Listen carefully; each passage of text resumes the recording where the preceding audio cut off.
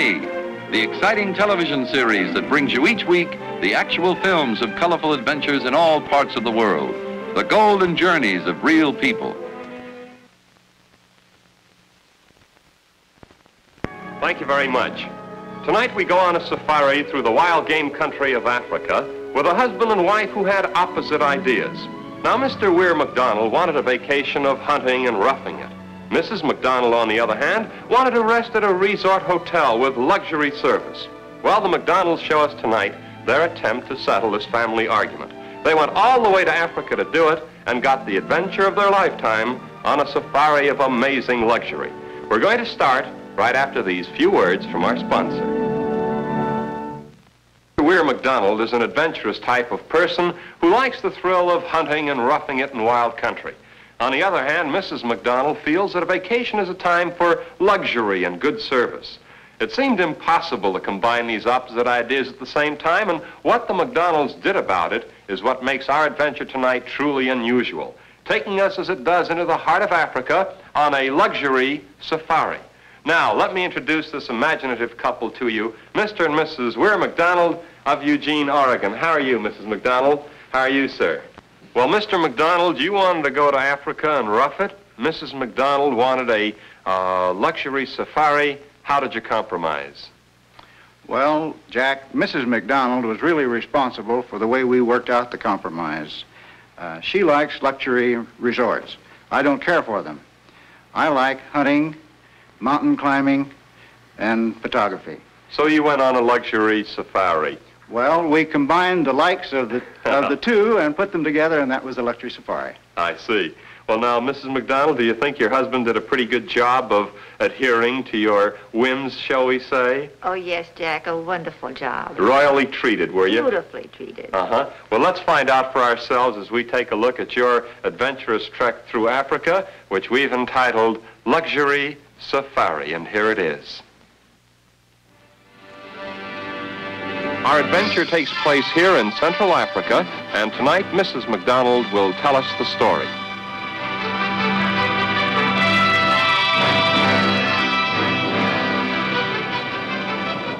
Jack's big day has come, and I am in for many surprises.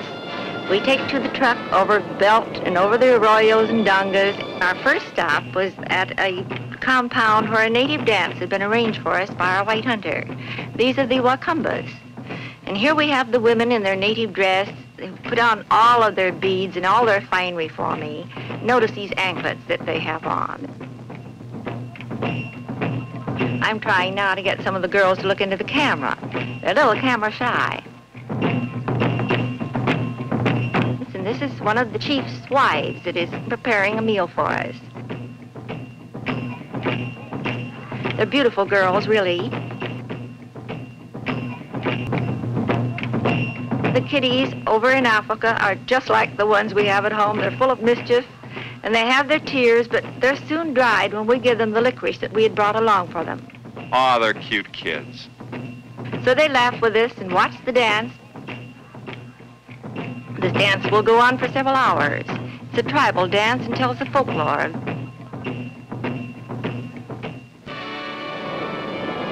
We now are off again over the rough terrain. We're at all times working with his camera. The giraffe are curious. We would see herds of 15 to 20 to 30 at a time. Then we will come upon perhaps 100 to 200 ostriches. We call them the ballet girls of Africa.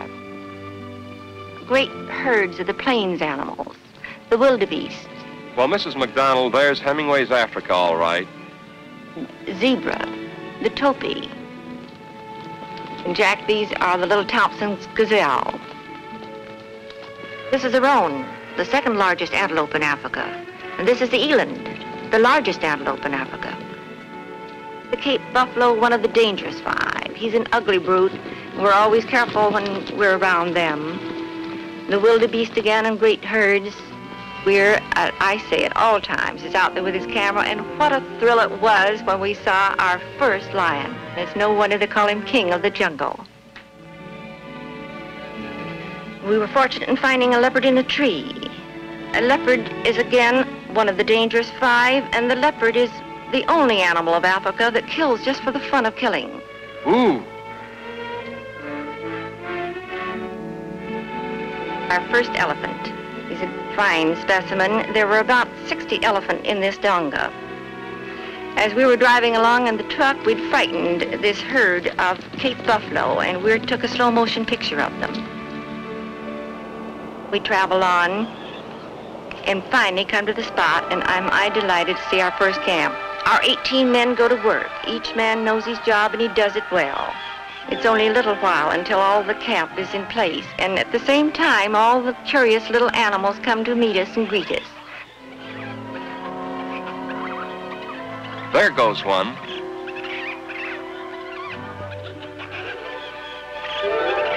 I'm out working with my camera, too. The zebras were pretty little fellows. Our camp, isn't it a pretty spot, Jack, there? The boys have cleaned it out so nicely.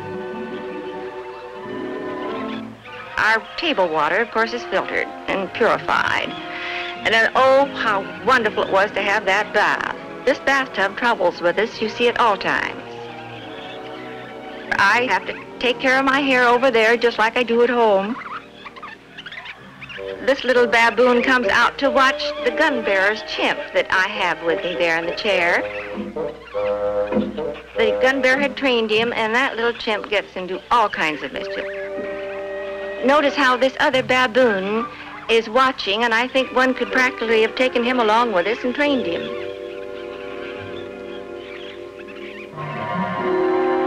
Kamau is filling the charcoal iron to do the ironing. Puts the crease and wears trousers. He's beautifully groomed, I think even better over there than at home. The cook does all of his cooking over the open fire.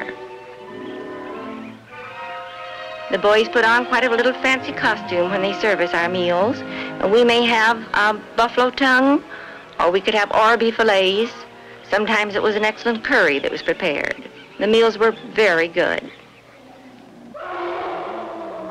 That first night in the jungle is an experience Jackie will never forget. The noises increase as regular quarrel society. I really was a little frightened, and I think everyone tells the same story that has been over there. It takes you a long time to get used to it. And The noise increases, and finally I asked Weir if he wouldn't please do something about it.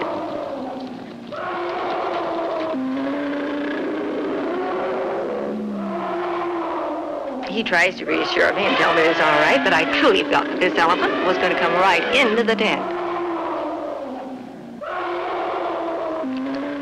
Finally, Weir decides that he will get out and try to frighten them off. Out goes the pail, and the animals do scatter, and now we are in hopes that we will have a few hours of quiet sleep.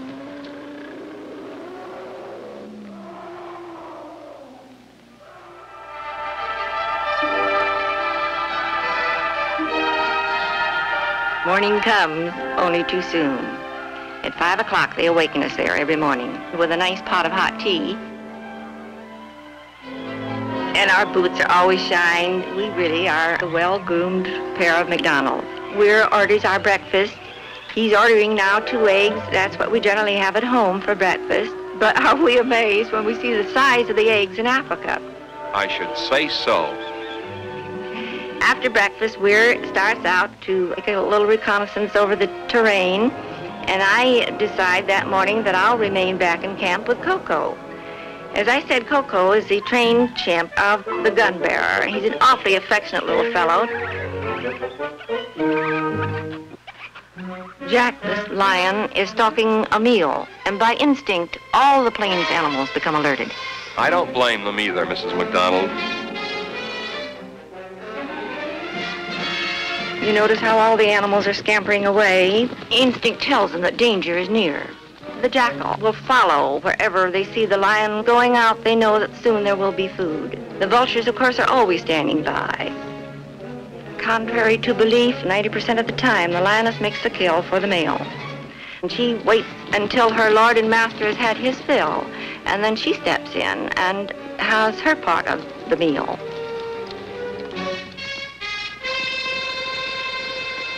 The zebra run, you'll find all of the animals very cognizant of what's taking place. And these little warthogs become alerted when they sense the lioness is out there. Notice their little tails. They're like an antenna. And the scavengers are waiting patiently. The lioness has spotted a warthog that she feels will make a good, tasty morsel. The lioness brings off this kill for her cubs and for her mate that is there in the deep grass. These are the wild dog. They're always glad to be able to get what the lioness or the lion will leave from their meal because um, they don't want to work for a living and they'll take what is left over by the lion. The vulture stands by, is in the tree, always waiting. And when the lion finishes the meal, the hyena moves in. And this old fella, you can see he's happy. He's had his great repast, and now he's getting prepared to uh, have a little siesta.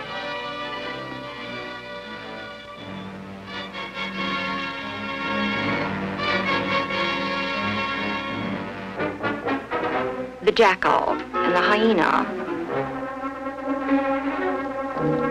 The hyena is starting in to carry the carcass away. The jackal will follow because what the hyena leaves, the jackal will take, and then the vultures will come in by the hundreds. And within a half an hour, all of this will all be cleaned up. You'll never know that there was a kill taken place here.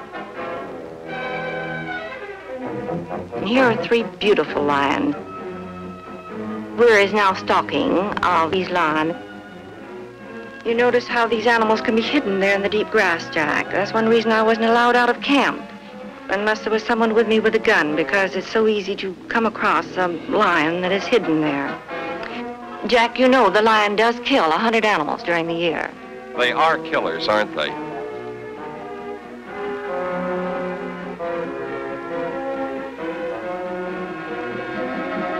Weir is now stalking his animal. Weir moves in closer through the deep grass. Takes good, sure aim.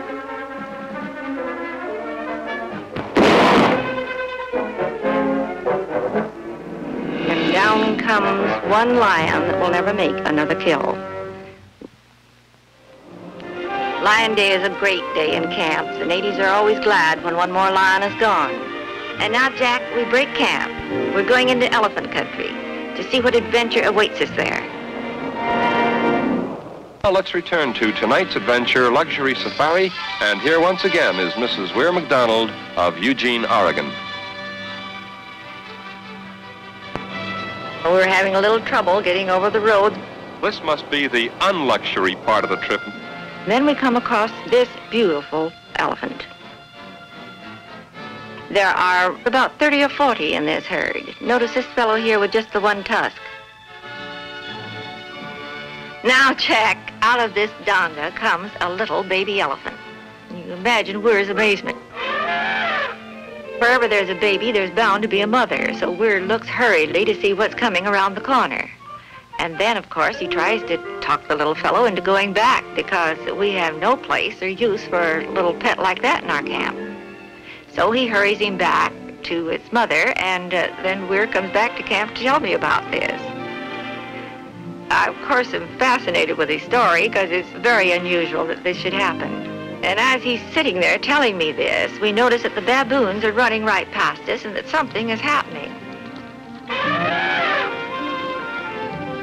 And believe it or not, right out of this donga comes this baby elephant that we had seen. It's just unbelievable. The little fellow came just as fast as he could right into camp. Friendly as could be. I'm sure a human hand had never touched him before. The boys at the camp got us some carrots and we fed him. He's a cute little character. We took his bath and the little fellow thought it was his own water hole and so he came up for a drink. Throws a little bit of water on him, but we knew that we couldn't keep him around there because uh, it really was dangerous. So finally, we got the boys to take the little fellow down to the donga so it could work its way back to the mother. Now we go out scouting and photographing for elephant. came across a herd here. There are about 10 or 15 here. Elephant must have its water. Water is necessary not only for drinking, but for the bath. And that after it has the bath, it will spray itself with mud so as to protect it from the insects and the bugs. Here's a fine specimen of a bull elephant, Jack. Now, we were just as close, I'll tell you, as we wanted to be. What a tremendous beast. Magnificent, really.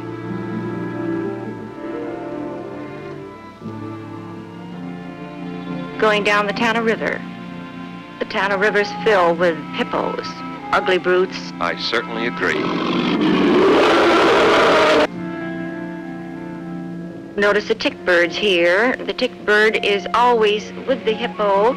It protects the hippo from the insects and also alerts the hippo to danger.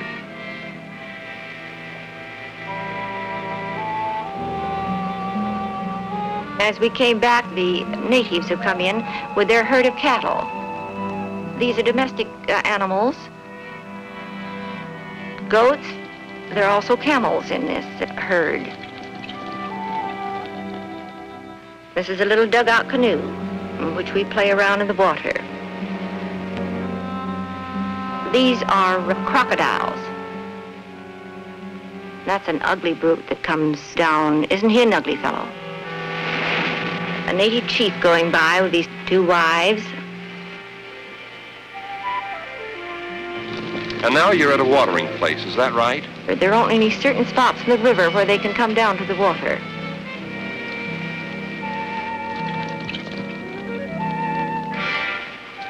Flamingos by the hundreds. Beautiful sight to see. The little town of Tabora. A town of about 20,000. 500 of these are whites. The rest are East Indians and blacks. There's only one well in this town that gives water for these 20,000 people.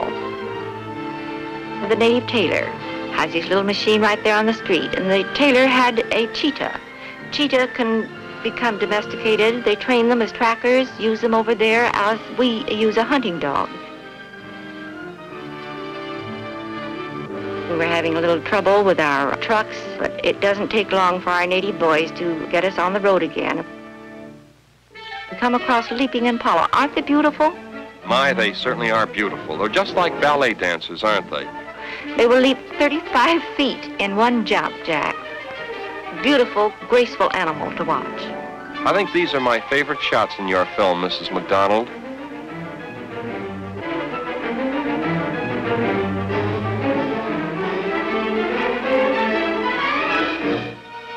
This is the Tsetse control. The Tsetse is the fly, you know, that carries sleeping sickness, Jack.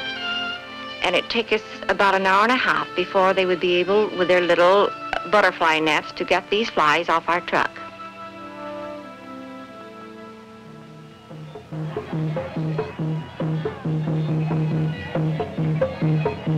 Natives here put on a dance for us, and all these men have, as a headdress, a lion skin. This lion has been killed by the spear of the hunter. It's sort of what the teenagers would call a jungle rock and roll. These native women, all of their heads are shaven. They're really quite beautiful belles there in their own compounds. And truly, under such conditions with a shaved head, uh, it takes great beauty for a woman to be beautiful under those conditions. Their dance is quite rhythmic. The children learn it from the time they're just about two or three. The boys are put into these um, clothes and they use um, quite a colorful makeup. It's another part of the lion skin that is around the ankle there.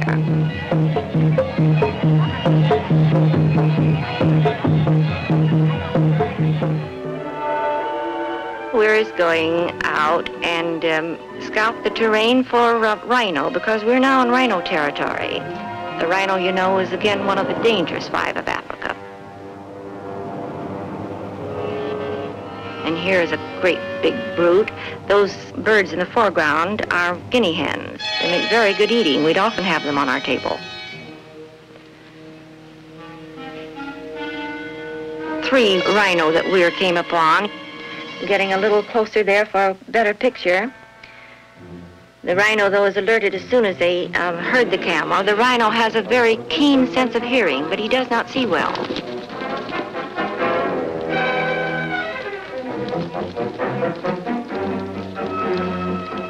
As we're photographing here, um, the rhino become curious. At first, we think there's going to be a charge, and then um, the rhino changed their mind, and we played around there with the camera for uh, quite a while. They're fascinating creatures to watch. Ooh, I wouldn't like to stay there very long. You're never quite sure when it, it's really going to be a charge. He certainly looks like an ugly brute, built just like a tank.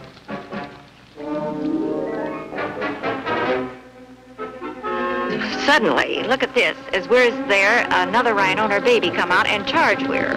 And if that boy didn't make a dash for the truck, it really was a most exciting moment. And I think the biggest thrill that Weir had.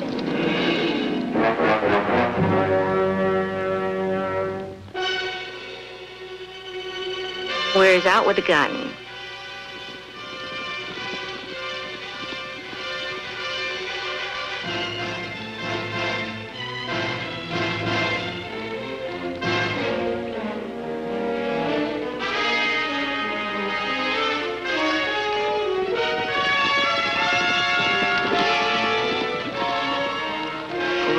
Getting into position and taking uh, sudden and careful aim.